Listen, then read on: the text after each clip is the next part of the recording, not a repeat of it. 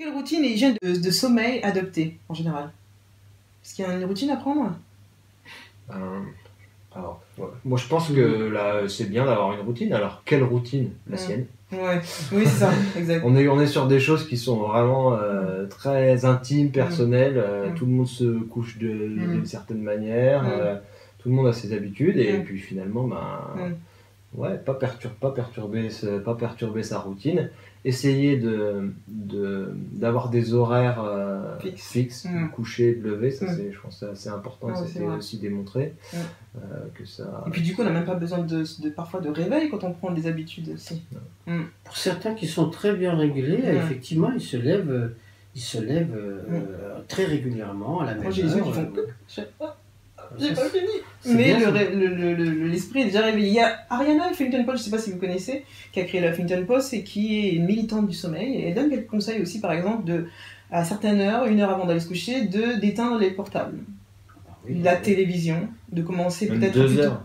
C'est ça. De choisir plutôt un livre avant de dormir, par exemple, ou de discuter avec son conjoint, par exemple.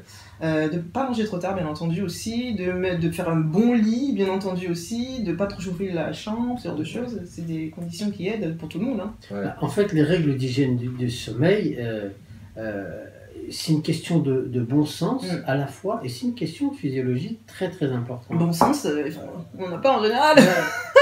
on lutte contre le sommeil. Moi, je dis toujours aux gens, par exemple, qui disent Ah, je suis fatigué, et pourtant qui disent en même temps Ah, j'adore dormir. Je dis Mais si t'aimes dormir, dors, et puis c'est tout. Mais c'est sûr, oui, c'est vrai. mais- ça, c'est déjà respecter ses besoins. Mais théoriquement, voilà, oui, vous avez la lumière, hein, Ouais. a- on peut dire qu'il y a la lumière, Ouais, il y a la température Ouais. et il y a le bruit. Ouais. c'est vrai. Bon, il est clair que si vous essayez d'aller dormir que vous allez avec votre sac de couchage en boîte de nuit, ça va être difficile, hein, surtout si vous êtes juste à côté de l'enceinte. Ça pas être simple de dormir. Mm.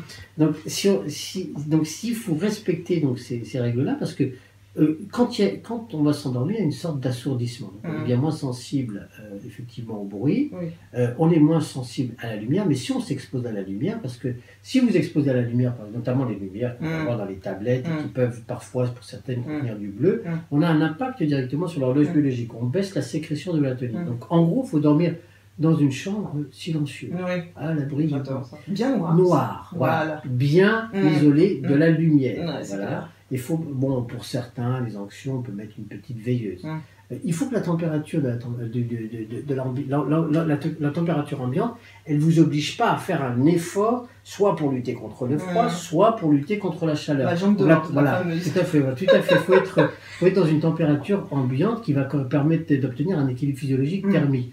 C'est un petit, en gros, à à 20 degrés, on obtient ça. Entre 18 et 20 degrés, on obtient ça. Vous faites pas d'effort Mm. pour lutter euh, et puis vous, vous pouvez dormir en, en- donc en tenue légère à ce moment-là Mm. parce qu'on dort pas effectivement Ouais. euh, avec euh, Ouais. voilà.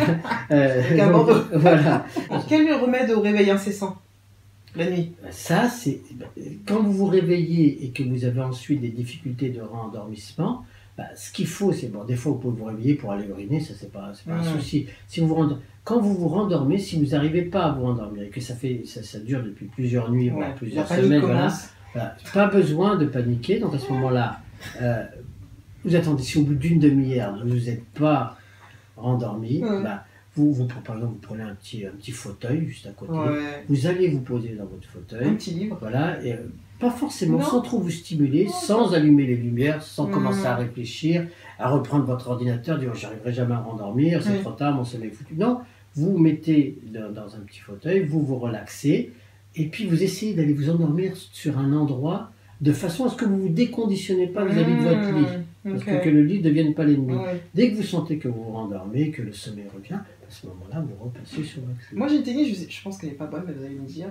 Euh, quand j'ai essayé ça hein, et que ça fonctionne pas, bah, ce que je fais c'est qu'à un moment donné, au bout de la, de la fin de la semaine, ça dure 2, 3, 4 jours, je me suis dit, ok, si je me réveille à 2h du matin, et ben, ce que je vais faire, c'est que je vais faire du sport, je vais travailler, et puis je ferai une sieste à 7h du matin. Ah, ça fonctionne pas? Bah, C'est une bonne idée. Voilà. Si vous, ça vous va et que vous tenez le coup comme ça, bon, on peut continuer comme ça. Ça, c'est une, c'est une technique de. bah, vous voyez, quand on fait des thérapies cognitivo-comportementales, on fait ce qu'on appelle la technique de restriction du temps passé au lit. Hum, Plutôt que de laisser l'insomniaque dans son lit avec une mauvaise ou le mauvais dormeur dans son lit avec une, mauvaise qualité de sommeil, Ouais, ouais. et qui va systématiquement dire je, je- mon sommeil est Ouais. catastrophique, bah, effectivement, il vaut mieux réduire le temps de sommeil. C'est-à-dire que le temps que vous avez passé, si vous avez dormi que 3 heures, vous avez dormi 3 heures. Donc c'est 100% d'efficacité. Donc c'est bien, mais petit à petit, il ne faut pas le Oui, prolonger. l'habitude. C'est-à-dire que si vous arrivez, par exemple, dans votre programme, c'est essayer justement de vous conditionner pour que vous augmentez votre temps progressivement de sommeil. Mmh. Au début, voilà, vous dites, au bout de 4 heures, moi, j'arrive pas à m'endormir, Mm. euh, je vais travailler. D'accord. La nuit suivante, vous essayez de dormir 5 Ouais, heures. Voilà. Euh, puis après 6 heures, et comme ça, vous augmentez progressivement. Qu'en est-il des grands rêveurs perturbés par leurs rêves? Quelle solution pour eux? Est-ce qu'il y a des, grands, des Oui, grands rêveurs Les grands rêveurs, ceux qui rêvent 10 rêves par nuit, Ah, au et sens ceux qui font des cauchemars, Voilà. comme ça. Ceux qui ont un, un excès, voilà. Donc bah, là, en général, quand on est, euh, on, entre dans les, si surtout c'est des, des rêves anxieux ou des Mm. cauchemars, C'est des, Euh. c'est des films hollywoodiens, quoi. Voilà. Donc à ce moment-là, là, là, il faut les examiner. Il faut Ah. examiner parce que euh, euh, c'est souvent, ça peut être associé à des pathologies comme la, la- la narcolepsie, parce que c'est probablement un excès de sommeil paradoxal, et donc à ce moment-là, il faut explorer. Oups. Surtout s'il y a un retentissement, parce qu'en général, euh, il peut y avoir également des associations avec les syndromes d'apnée du sommeil, et c'est là tout Mm. l'intérêt. Voilà. Mm. En, en gros, dans une nuit normale, c'est 4 à 6 cycles. Ouais. Et puis il y a des personnes qui vont faire plusieurs cycles Exact. comme ça, et qui vont avoir beaucoup de Puis ils se réveillent fatigués aussi. voilà, ils se réveillent fatigués, absolument. Donc quand c'est comme ça, on est dans la pathologie, donc euh, les cauchemars euh, Mm. répétitifs. Ça peut être les pathologies traumatiques, Mm. notamment personnes qui ont, été vic- victimes de- de- d'événements. euh, Ouais. Il paraît Euh, aussi que ceux qui ont des